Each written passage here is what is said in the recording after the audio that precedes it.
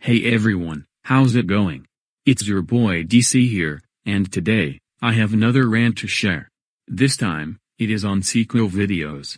If you like these videos, then I can handle your opinion as long as you can handle mine.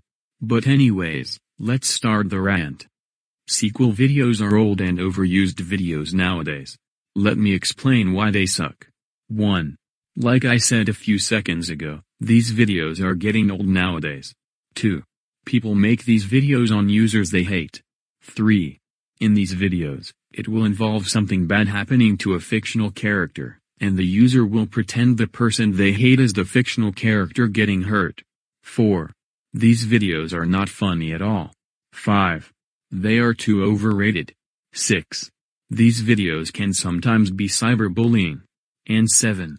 Making these videos will just prove you're stuck in 2017, even though I love 2017 so much.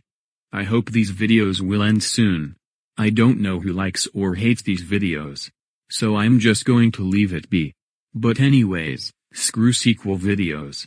And screw fetish videos. Prank videos are 100 times better than sequel videos. End of rant.